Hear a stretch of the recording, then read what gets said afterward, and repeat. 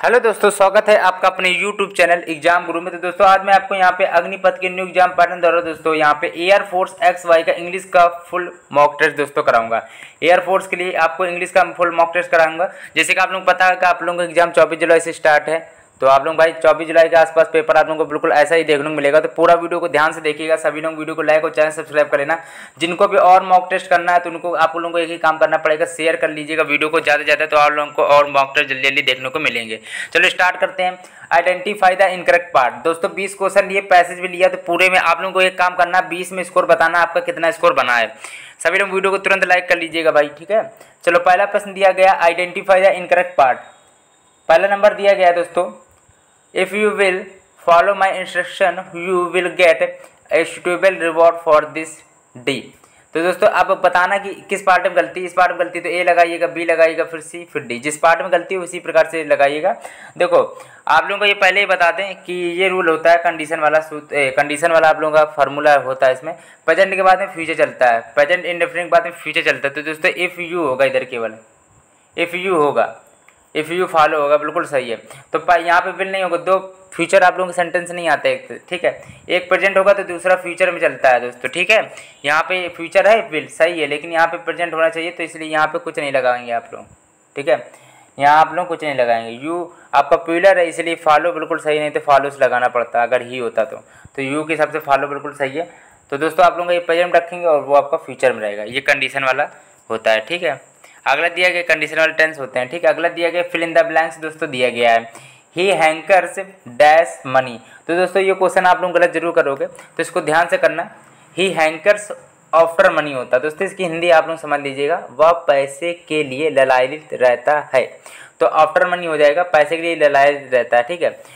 चलो तो यहाँ पे अगला देख लेते हैं। Fill in the blanks space with the correct adjective दोस्तों, आप लोग जिनका भी एग्ज़ाम 24 के आस, चौबीस जुलाई से जिनका भी एग्ज़ाम स्टार्ट है, वो लोग ये क्वेश्चन ज़रूर देख जाइए। काफ़ी इंपॉर्टेंट क्वेश्चन है, ठीक है? I have an dash sister दोस्तों, तीसरे नंबर के क्या होगा?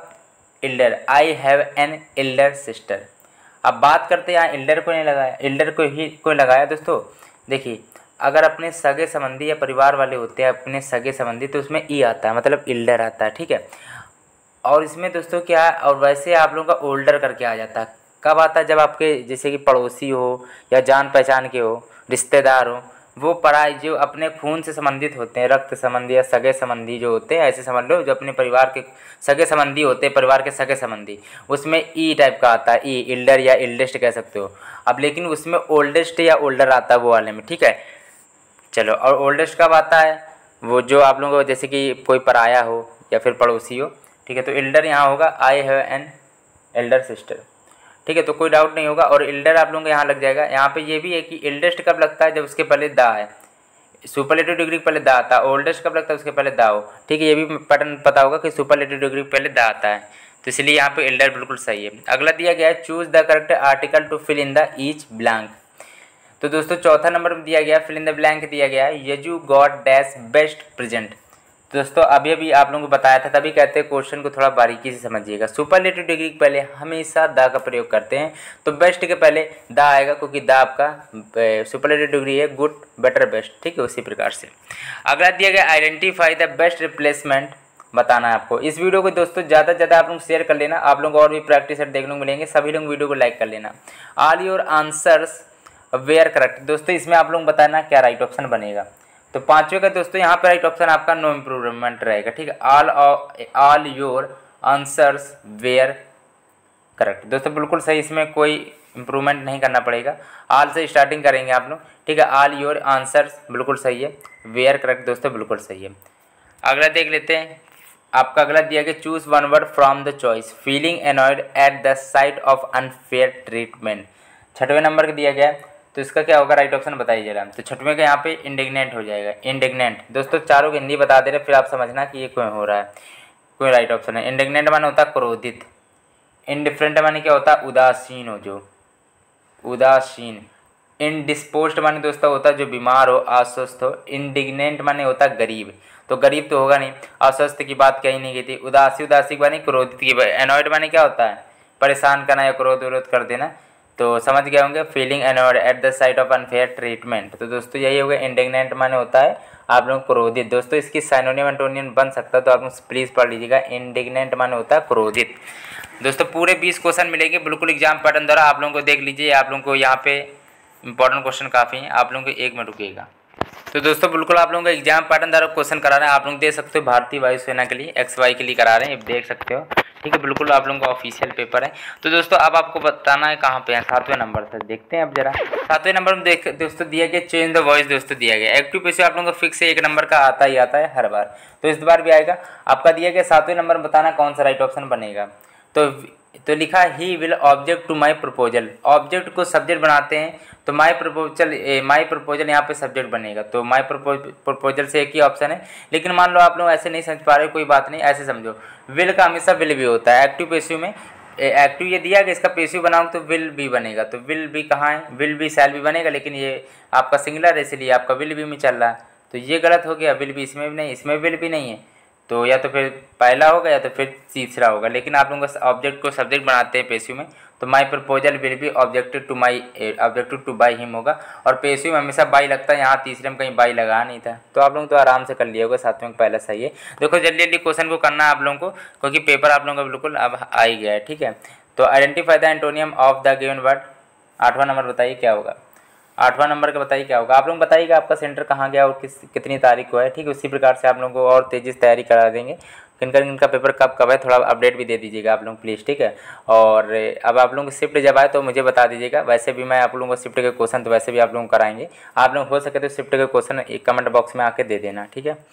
चलो तो बताइए जरा इसका क्या होगा? Identify the antonym of the given word दोस्तों, आठवें नंबर में क्या है? एग्रीमेंट मान होता है, समझौता करना। क्या होता है दोस्तों? समझौता कर लेना।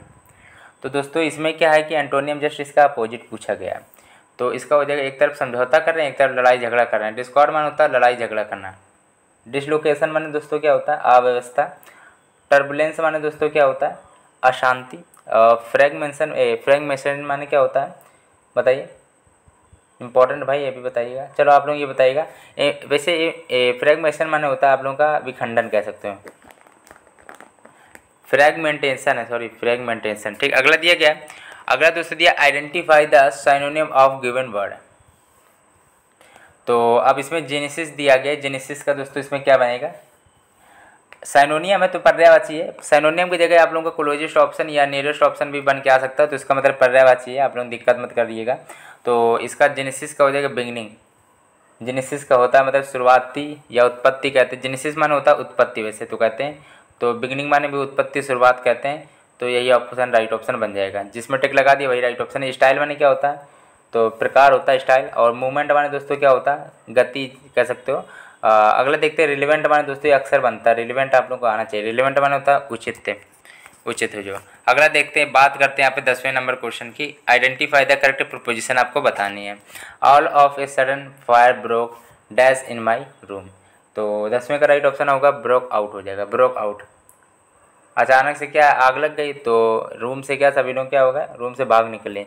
तो ब्रोक आउट माने होता भाग निकलना। दोस्तों, यहाँ पे भागेंगे भाई और कुछ तो करेंगे नहीं। और ब्रोक आउट ही माने होता भाग निकलना। अब कुछ चलो आप लोगों को आराम से हिंदी बता दें इसकी क्या है। मेरे कमरे में अचानक आग लग गई, ठीक है? मेरे कमरे में अचानक आग लग गई तो क्या रूम मेरे कमरे में अचानक आग लग गई तो सभी लोग भाग भाग निकल गए, ठीक है? सभी लोग भाग गए, ठीक है, ऐसे कह सकते हो। तो ब्रोकआउट माने होता भाग निकलना या भाग जाना जैसे अगला देखते हैं आइडेंटिफाई द कर आइडेंटिफाई द डायरेक्ट आपका स्पीच दिया गया। दोस्तों, एक आप लोगों का डायरेक्ट इनडायरेक्ट क्वेश्चन ज़रूर आएगा। ये डायरेक्ट फॉर्म में दिया गया। आप देखते हैं इसमें क्या होगा। ग्यारह नंबर प्रश्न है, थोड़ा ध्यान से देखिएगा। चारों ऑप्शन को आप लोग देखना पड़ेगा। एक मिनट। सेट है सेट टू आ गया। विल का वुड बनेगा। अच्छा ठीक है, देखो। दोस्तों, ये आप लोगों को क्या वुड दिया है? ठीक है, अब वुड का क्या बिल बनेगा? बिल का वुड होता है ना? चलो तो यहाँ पे बिल देखते हैं कितने ऑप्शन में है आप लोगों का। यहाँ पे एम है एम है, हट गया ये क्वेश्चन रुकेगा। ये क्वेश्चन हट गया। इसमें बिल है वो लगा दिया। विल हैव नहीं है, केवल विल है, क्योंकि विल विल सेल का विल विल सेल का वुड शुड बनता है आप लोगों का डायरेक्ट इनडायरेक्ट में। और विल सेल का बनता है एक्टिव पेशियो में विल बी सेल भी। ये रूल आप लोग ध्यान रखना है। एक्टिव पेशियो में विल सेल का विल बी सेल भी बनता है और डायरेक्ट इनडायरेक्ट डायरेक्ट इनडायरेक्ट में आप लोगों का विल विल सैल का वुड शुड बनता है। तो आप लोगों को वो डायरेक्ट वो इंडायरेक्ट फॉर्म में दिया गया दोस्तों। ये आपका इंडायरेक्ट फॉर्म में दिया गया। अब इसको डायरेक्ट बनाने के लिए आप लोगों को यहाँ पे वुड का बिल करना पड़ेगा। बिल कितने ऑप्शन पे आप लोग जैसे बता दिए यहाँ पे पहला ही आप लोगों का है। यहाँ पे वुड कर दिया, गलत है। एम लगा दिया बिल हैव लगा दिया, सब गलत है। बिल्कुल सही ऑप्शन पहला ही बन रहा था। कोई दिक्कत तो थी नहीं, अगला देख लेते हैं। दोस्तों, यहाँ पे बारह नंबर दिया गया you will succeed if you follow my advice to the letter अब दोस्तों, बारह नंबर में क्या है कि इसका राइट ऑप्शन आप लोग बताइए क्या होगा? तो बिल्कुल सिंपल हो जाएगा। एडवाइस टू द लेटर जगह इन एवरी डिटेल हो जाएगा, ठीक है? इसका ईडियम फ्रेज दोस्तों क्या होता है? जहाँ पर डार्क लाइन है, इसी पूछा गया। टू द लेटर मतलब क्या होता है? इसका ये आप लोगों को सीधा यही पूछ, पूछा जाएगा पेपर में, या फिर डार्क अंडरलाइन करके पूछ लेते हैं कभी कभार तो इन एवरी डिटेल मतलब प्रत्येक, हर मतलब पूरी जानकारी कह सकते हो। एवरी डिटेल मतलब एक एक जानकारी एक एक जानकारी, ठीक है? पूरी जानकारी कह सकते हो पूरी डिटेल में। चलो अगला देख लेते हैं। विस्तार में कह सकते हो। टू द लेटर मतलब होता है विस्तार में। अगला देखते हैं। Choose the correct form the verb to fill in the is belong दोस्तों, लिखा है आप लोगों का if he work hard he would have dash good marks दोस्तों, आप लोग, तेरह का बताइए क्या होगा? तो तेरह का सेक्योर्ड हो जाएगा। सेक्योर्ड ठीक है सेक्योर्ड गुड मार्क्स हो जाएगा। ठीक है, कोई दिक्कत वाली बात है नहीं। आप लोगों के ये क्या है वर्ब की सेकंड फॉर्म में जा रहा है। अब वुड भी वर्ब की सेकंड फॉर्म में जा रहा है। पास्ट की बात चल रही है। तो अब आगे वाला भी तो पास्ट में आएगा। ये तो आप लोगों का आई एन जी रहा रही में लगता है, और ये वर्ब की फ़र्स्ट फॉर्म है, और सेकंड जो वर्ब की सेकंड फॉर्म है, यही तो आना चाहिए, क्योंकि वर्ब की सेकंड फॉर्म ही तो पास्ट डोनेट करती है, और वुड वुड आया तो मतलब पास्ट है विल का वुड होता है ना तो मतलब ये पास्ट में दिया गया वर्क दिया है थर्ड फॉर्म मतलब सेकंड फॉर्म दिया, ये भी आप लोगों को पास्ट में। पास्ट पास्ट अगर एक सेंटेंस पास्ट है तो दूसरा भी पास्ट में होगा सेकोड होगा। अगला दोस्तों दिया the verb of beginning is जितने भी आप मॉक टेस्ट कराएँगे आप लोग सपोर्ट करते रहिएगा। जल्दी जल्दी बहुत तेज़ी में मुझे कराने मॉक टेस्ट ठीक है? तो आप लोग सपोर्ट करिएगा और कमेंट में ये बताइएगा आपका सेंटर कहाँ गया और कब पेपर है ठीक है? The verb of beginning is दोस्तों बताइए चौदह नंबर का क्या होगा? आ, तो चौदह नंबर का राइट ऑप्शन आप लोगों का दूसरा हो जाएगा बैग ठीक है? वर्ब पूछी गई थी तो यही हो जाएगा। अब बात करते हैं अगले प्रश्न की। He finished first dash he began late पंद्रह नंबर क्वेश्चन है यहाँ पर कंजक्शन बनना है। कंजक्शन दोस्तों वो होती हैं जो ले, दो लेटर दो सेंटेंसों दो सेंटेंसों दो वर्ड और दो लेटर को जोड़ने का दोस्तों कार्य करती हैं। ठीक है? तो he finished first dash he began late पंद्रह नंबर प्रश्न है तो हो जाएगा दो। ठीक है? ही फिनिश्ड फ़र्स्ट दो ही बिगेन लेट दो हो जाएगा दो मतलब होता है भी ठीक है? चलो। मैंने पहले मैंने पहले समाप्त किया, यद्यपि इसका क्या होगा, मैंने पहले समाप्त किया, यद्यपि वरना देर हो जाती। ठीक है? मैंने पहले समाप्त कर लिया, नहीं, यद्यपि क्या होता, देर हो जाती है यद्यपि देर हो जाती है। ठीक है? चलो भाई, अगला देख लेते हैं। इन चारों हिसाब से यही दोस्तों लग रहा है राइट ऑप्शन बट माने लेकिन होता है सिंस माने जब से जट माने तो भी, फिर भी जट माने फिर भी तो दो माने होता है यद्यपि। ठीक है? तो दोस्तों यही ऑप्शन सही हुआ है, आप लोगों का अगला देखते हैं। He is dash for the election दोस्तों, आप लोगों को कैनवेसिंग माने दोस्तों पता नहीं होगा। इनमें से एक स्पेलिंग गलत है। कैनवेसिंग की, आप लोगों की स्पेलिंग क्या होती है? दोस्तों, देखिए कैनवेसिंग माने होता है वैसे प्रचार तो डबल एस वाली होती है। ठीक है ये स्पेलिंग आप लोग गलत ही लिखी है कैनवेसिंग यहाँ होगा कैनवेसिंग फॉर द इलेक्शन ठीक है?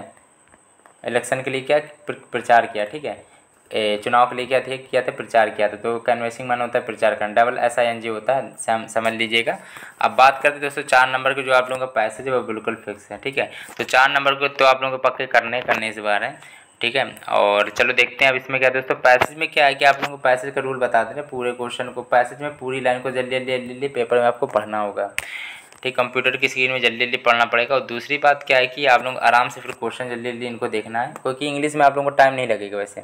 इंग्लिश को हल करने में आप लोगों को टाइम टाइम नहीं लगेगा। रागा पेपर आप लोगों को जल्दी जल्दी करना पड़ेगा, क्योंकि उसमें क्या है कि रीजनिंग आप लोगों को थोड़ी घुमा देते हैं नॉन वर्बल के क्वेश्चन हालाँकि मैंने आप लोगों को रागा का पूरा फुल प्रैक्टिस सेट भी कराया पचास पचास नंबर के भी। अगर उनके प्ले लिस्ट चाहिए तो बताइएगा। कम से कम मैंने पचास प्रैक्टिस सेट आपको बाई ग्रुप के पूरा फुल फुल कराएँ तो आप लोगों को प्ले लिस्ट चाहिए तो बता दीजिएगा। दोस्तों अब सत्रह अठारह नंबर क्वेश्चन में क्या है कि मैं पूरा आप लोगों को सीधा राइट ऑप्शन बताऊँगा तो आप लोग सीधा देख लीजिएगा। ठीक, वीडियो रोक के। चलो, सत्रह का राइट ऑप्शन आपका कौन सा बनेगा?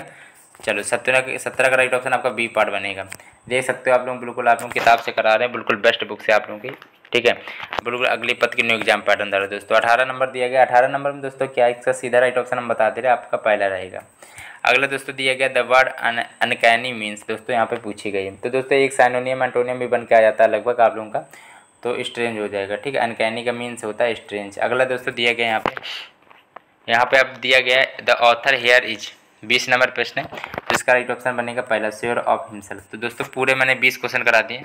चलो भाई तो यहाँ पर टोटल बीस क्वेश्चन मैंने करा लिए और ये आप लोगों का चार पैसेज में एक क्वेश्चन आपका सैनोनियम टाइप का बन जाता है। अनकैनी या माने स्ट्रेंज हो जाएगा। स्ट्रेंजर मतलब जानते होंगे स्ट्रेंज मतलब वही अनोखे लोग, या अलौकिक, या अनोखा कह सकते हो। अनकैनी मन होता है अनोखा, और स्ट्रेंज मन होता है अनोखा। तो दोस्तों ये बीस क्वेश्चन थे, बीस में अपना स्कोर बताइएगा। और दोस्तों जल्दी जल्दी आप लोगों को पढ़ना है। अब क्या करना, दुगनी स्पीड में, जैसे स्पीड में आप लोग पढ़ सकते हो, उतनी स्पीड में आपको तेज़ी से पढ़ना पड़ेगा जल्दी जल्दी। और दोस्तों ये है कि आप लोगों के पेपर का बताइएगा आप लोगों का कहाँ से इंटर गया वो किस दिन आप लोगों का पेपर है, ठीक है? और काफ़ी मॉक टेस्ट मुझे कराने अब एक ही दो दिन के अंदर बहुत तेज़ी से मॉक टेस्ट आएँगे। तो सभी लोग वीडियो को लाइक और दोस्तों चैनल सब्सक्राइब ज़रूर कर लेना। आप लोग दोस्तों सपोर्ट करिएगा। इस वीडियो में काफ़ी कम व्यूज़ आएँगे, आप लोग देख भी लीजिएगा। तो थोड़ा बहुत सपोर्ट कर देना। आप लोगों को जल्दी जल्दी आप लोगों का मॉक टेस्ट मुझे कराने हैं, ठीक है?